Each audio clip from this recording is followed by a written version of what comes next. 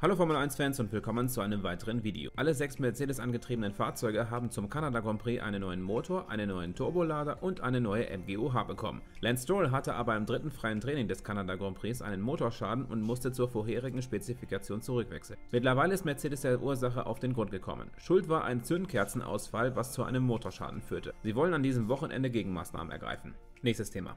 Für den Frankreich Grand Prix wird das Wetter Stand jetzt trocken. Kein Regen in Sicht und nur ein paar Wolken am Himmel. Sonntag soll es mit 30 Grad Celsius der wärmste Tag der Woche werden. Letztes Jahr hat man vorhergesagt, dass es am Samstag im dritten freien Training trocken bleiben sollte, doch dann fing es an zu schütten. In der Region sind schnelle Wetterwechsel bekannt. Nächstes Thema. Nicolas Latifi durfte bei seinem Heim Grand Prix das erste freie Training im Williams bestreiten. Das gleiche wird er auch in Frankreich machen. Dort wird er auch wieder in der Formel 2 fahren. Nächstes Thema. In Kanada lief es für McLaren mit P8 und P9 in der Qualifikation echt gut, nur im Rennen holten sie leider keine Punkte. Lennon Norris schied in Runde 7 aufgrund eines plötzlichen Defektes an der hinteren rechten Radaufhängung auf der Startzielgeraden aus. Nur wie es dazu kam, war bisher nicht bekannt, doch jetzt bringt das britische Traditionsteam Licht ins Dunkeln. Aufgrund von zu hohen Temperaturen in den Bremsen fingen sie Feuer und das führte zu einem Aufhängungsbruch.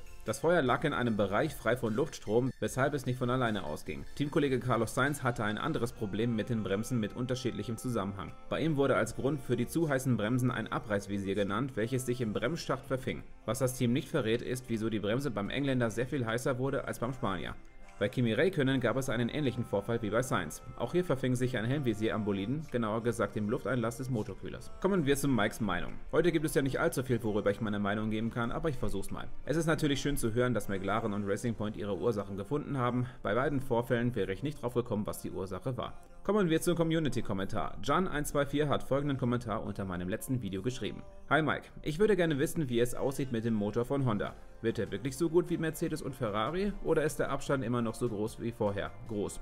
Jo, groß zurück. Also sie bringen in Frankreich ihre zweite Ausbaustufe, mit der Daniel Kwiat fahren darf. Alex Albon noch nicht, weil Toro Rosso nicht beide Fahrer strafversetzen möchte. Er wird in Österreich mit diesem Update anfahren. Also meiner Meinung nach sind sie ein bisschen näher herangekommen, aber um Ferrari Mercedes noch einzuholen, ist noch sehr viel zu tun. Honda hat speziell am Turbolader gearbeitet und der würde, laut ihrer Aussage, extra Power verleihen.